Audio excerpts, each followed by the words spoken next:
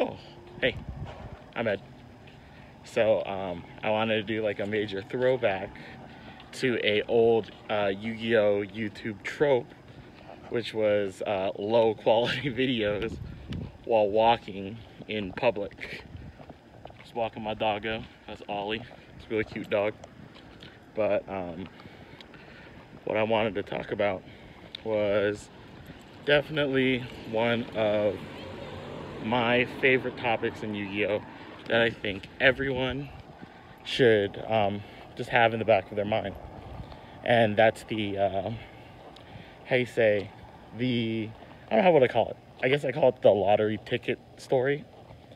So a lot of people when they play Yu-Gi-Oh, they kind of have this like really bad mentality which is to like hype up an event. Obviously, you know, events are hype. They're like the best things ever.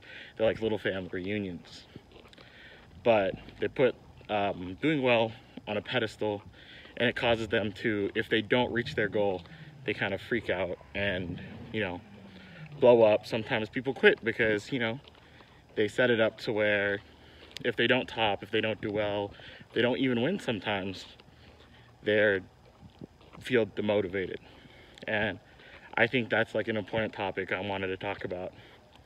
So if you're probably wondering what the hell does lottery ticket have to do with a with Yu-Gi-Oh? Or like what's the analogy here? Well, at the end of the day, Yu-Gi-Oh has luck, it has variance.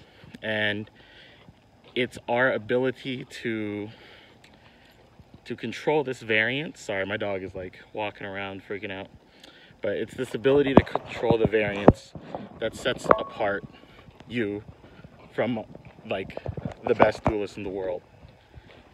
And it's this overall drive to keep competing, which makes these players consistent. And when you play Yu-Gi-Oh! and you're in a tournament, to win the tournament, you gotta get lucky. You gotta have the winning lottery ticket.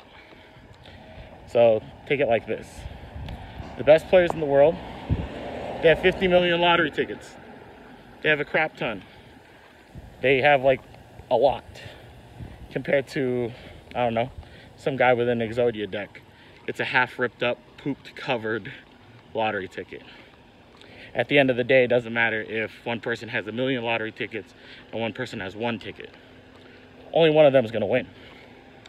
And I think that's what people need to get right at the end of the day, you can't control what numbers are called. You can only control the amount of tickets. And the way you do that kind of stuff is just practice with a good mindset. Study. Study everything about Yu-Gi-Oh! Study everything about gaming.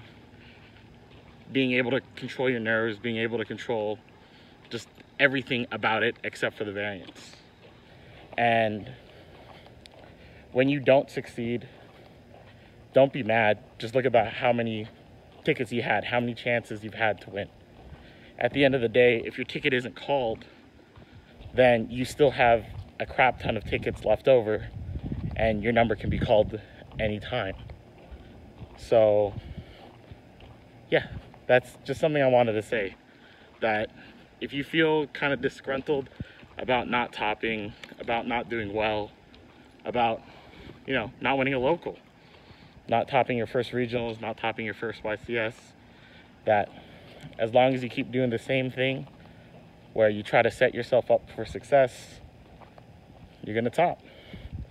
My very first time ever topping, everybody thought I was already like a pretty decent player and it was like a deserved top. But I got stressed out for 50 million events because I kept going, man, when is my time going to be called? When is my time going to be called? And that's kind of not the thing you have to focus on.